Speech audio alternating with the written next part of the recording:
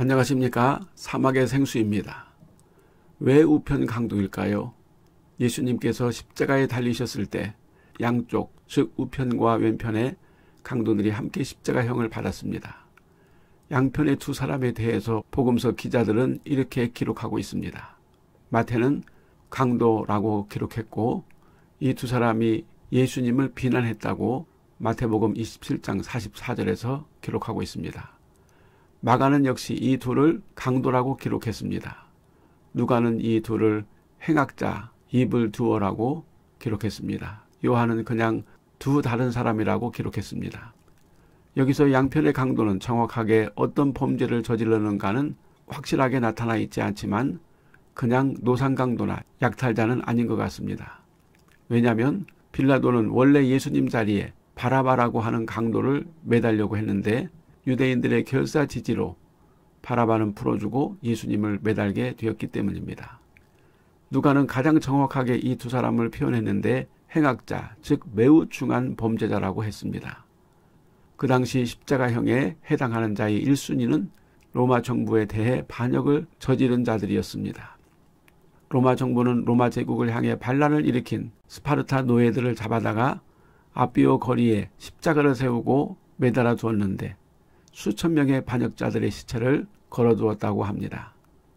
그러므로 바라바도 역시 열성당원 유대민족 해방을 위한 선동자로 로마군에게 잡혀 십자가형을 언도받았고 양옆의 강도들도 단순 강도들이 아니라 유대 민족 해방전선의 주동자인 바라바의 추종자였을 것입니다. 그런데 유대인들은 유대 민족 해방을 위해서 범죄자가 된 바라바를 구해주고 대신 인류를 죄에서 구원하기 위해 이 세상에 오신 예수님을 유대 반역자로 정죄하여 십자가형을 선고했던 것입니다. 세상 마태복음 27장 44절에서는 이 두 강도가 예수님을 비난했다고 기록하고 있습니다. 만약 이 두 강도들이 예수님을 비난했다면 예수님께서 유대민족 해방전선에서 일하지 않았기 때문이었을 것입니다.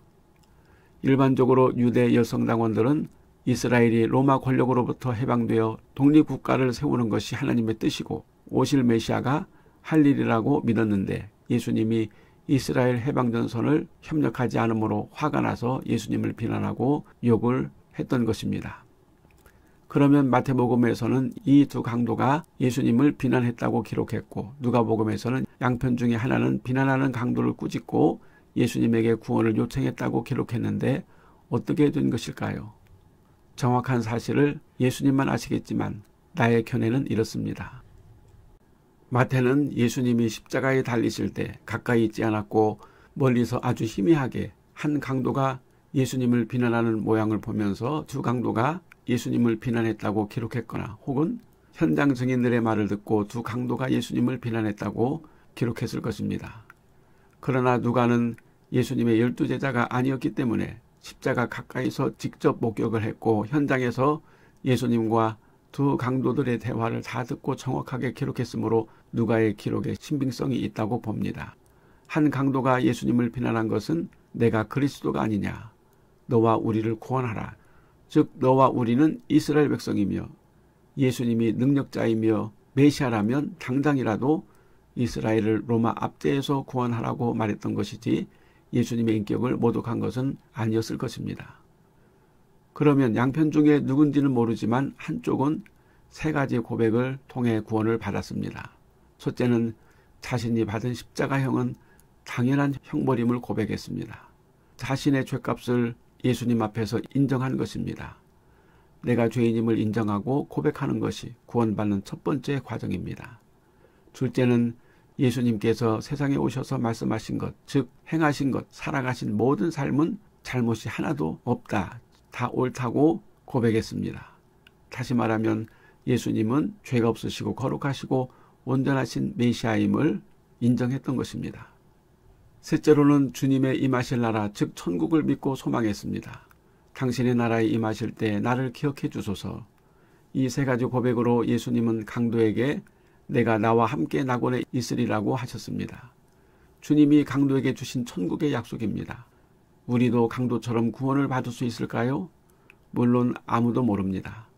어떤 이들은 강도처럼 구원을 받을 수 있고 어떤 이들은 강도처럼 구원을 받을 수 없을 것입니다. 한 강도는 예수님과 함께 십자가에 달린 최대 6시간 그 이하에서 매우 극적인 구원을 받았습니다. 만일 우리가 강도처럼 드라마틱한 구원을 받기를 바라고 불신앙적으로 산다면 아마 큰 화를 당하게 될 것입니다. 강도처럼 구원받는 것도 하나님의 주권이고 인간이 절대로 선택할 수 없는 부분입니다. 이 강도의 구원을 보고 혹시라도 오해하는 사람이 있어서는 안 될 것입니다. 그러면 구원받은 강도는 우편일까요? 좌편일까요? 성경에는 그가 우편에 있었는지 좌편에 있었는지 기록하지 않고 있습니다. 단지 예수님의 우편과 좌편에 강도가 십자가형을 받았다고만 기록하고 있습니다. 그런데 일반적으로 구원받은 강도를 우리는 우편의 강도라고 말합니다. 왜 그럴까요? 아마도 오른편에 대한 좋은 이미지 때문일 것입니다. 예수님이 부활 승천하셔서 하나님의 보좌 우편에 앉으셨다고 성경은 기록하고 있습니다. 예수님의 비유 중에 염소와 양에 대한 비유가 있는데 염소는 좌편에 양은 우편에 있었고 좌편에 있는 염소는 창세전에 예비된 불못에 들어갔고 우편의 양은 창세전에 예비된 나라 즉 천국에 들어갔다고 기록하고 있습니다. 오른편은 의로움, 지혜자, 생명이고 왼편은 악함, 어리석음, 멸망을 뜻합니다. 전도서 10장 2절 말씀에 지혜자의 마음은 오른편에 있고 우매자의 마음은 왼편에 있느니라. 에베소서 1장 20절 말씀에도 그 능력이 그리스도 안에 역사하사 죽은 자들 가운데서 다시 살리시고 하늘에서 자기의 오른편에 앉히사. 시편 110편 1절 말씀에 내가 내 원수로 내 발등상 되게 하기까지 너는 내 우편에 앉으라.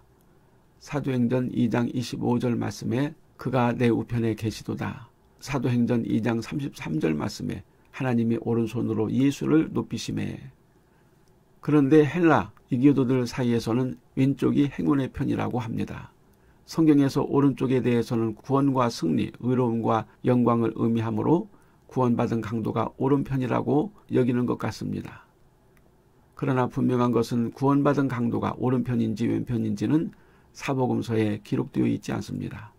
중요한 것은 두 명 중에 한 강도는 구원을 받을 만한 고백을 예수님에게 드렸다는 것입니다.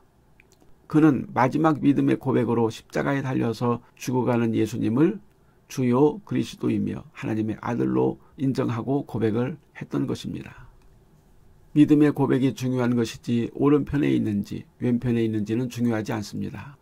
어떤 이들은 구원받은 강도가 너무나 쉽게 구원을 받은 게 아니냐, 공평하지 못하다고 말하기도 합니다.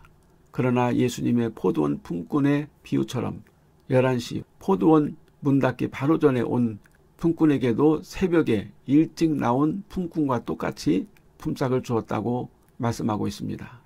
구원은 시간이나 경력이 중요한 것이 아니라 현재의 믿음의 고백이 가장 중요한 열쇠임을 주님은 말씀하셨고 그 신뢰를 생애 마지막 순간에 믿음의 고백으로 구원받은 한 강도에게서 보여주신 것입니다.